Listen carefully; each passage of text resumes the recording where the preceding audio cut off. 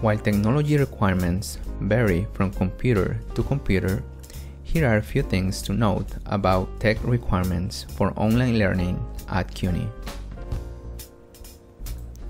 First, make sure that if you are using a personal computer, you have administrative rights to make changes and that you know your admin, username, and password.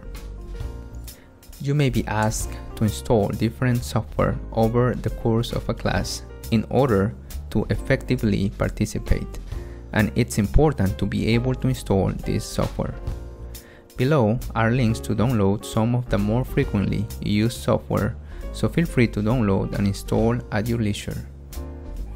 However, if you're using a computer on your campus, i.e., the computer lab or library, these computers will have all the necessary software and plugins needed to participate in Blackboard. Second, Blackboard is constantly being updated to be compatible with various internet browsers. Click the link below for the latest information about recommended browsers from Blackboard. It is a good idea to keep your browser updated to the latest version.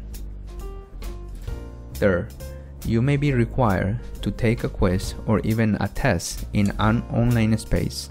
Wi-Fi is becoming more and more dependable and popular. Make sure you have a reliable internet connection when taking the test.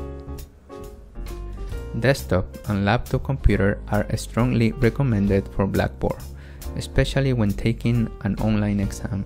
Proceed with caution if you decide to use a mobile device to access Blackboard.